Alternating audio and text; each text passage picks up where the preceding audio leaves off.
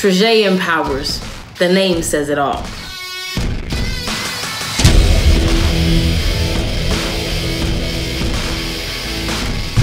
Look, I've been speaking life into people for decades, from premiere stages to television. I know slam keeps your pen sharp, and I've seen my cut through the competition.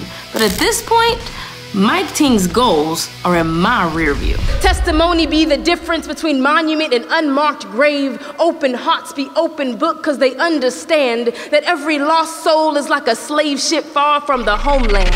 So if you want to see if all his coded language can measure up to my 10 years of experience, tune in to the Poetry Clash on Pen Clique's YouTube page on August 26th to see this lioness on her game.